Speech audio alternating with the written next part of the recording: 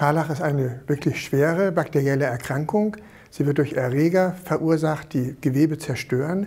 Bei Säuglingen kann es, weil die Immunstärke noch nicht so ausgeprägt ist, leichter zu Blutvergiftungen kommen, zu Herzproblemen. Eine bakterielle Erkrankung, die sofort richtig behandelt werden muss.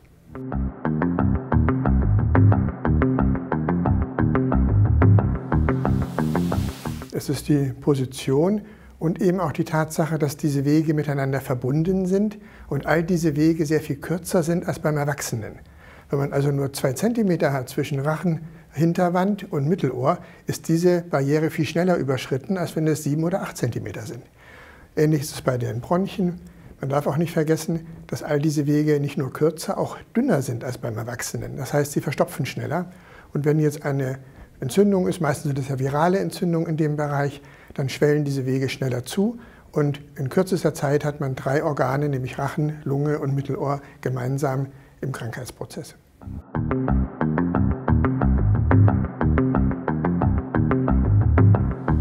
Wir gehen davon aus, dass es individuelle genetische Unterschiede sind, wie stark das Immunsystem auf bestimmte Erreger reagiert.